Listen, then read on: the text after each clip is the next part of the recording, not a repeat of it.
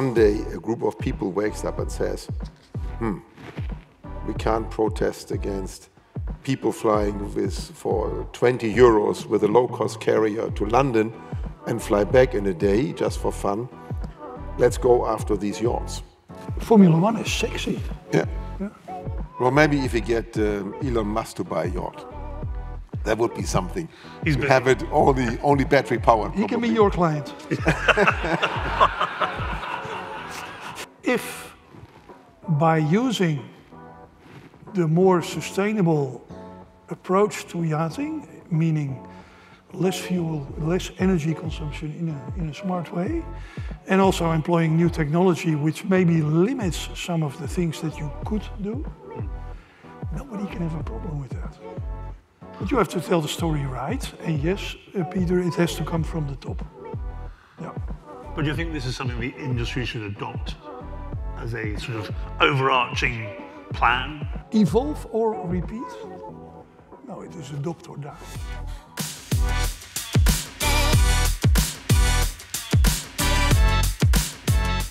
What's the difference between safety standards and onboard reality? Well, we're not going to cut corners. Evolve beyond and see the greater good for the industry. One is in your control and one very much outside your control. Not guidance notes, which are a waste of time. We want we want some regulation that's meaningful. Goes off and tells all his mates, don't buy a yacht, charter it. You cannot just wipe out and define the whole industry as, as just one single entity in that way.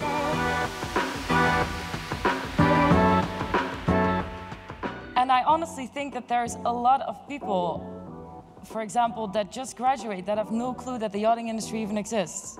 And there is a big opportunity for us. We need to educate these people. We need to go to these schools, present what we do, and inspire them to come to our industry.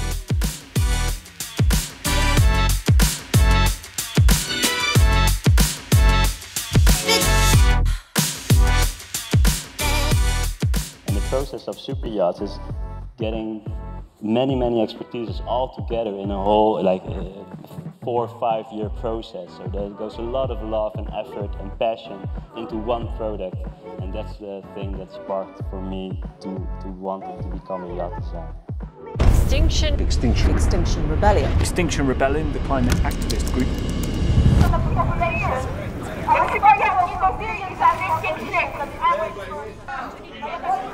With all the people that are here, the message we really want to get across is that you, as an industry, you're going to lose your social license to operate.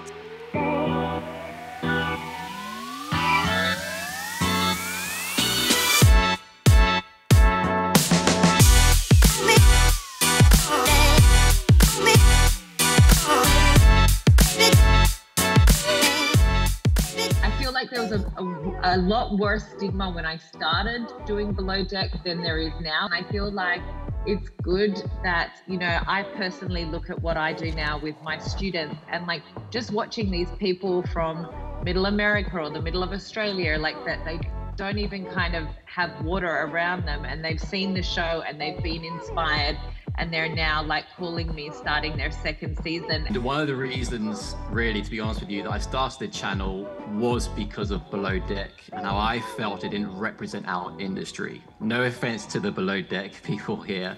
The other reason, really, is believe it or not, my mother became a fan of Below Deck, right? And she asked me, does this really happen on board? and I'm not sure it's like for the other guys, but on board my boats, you know, the the attitudes, the way they treat each other would never happen on board. And I thought, you know, I want to show something, the real world.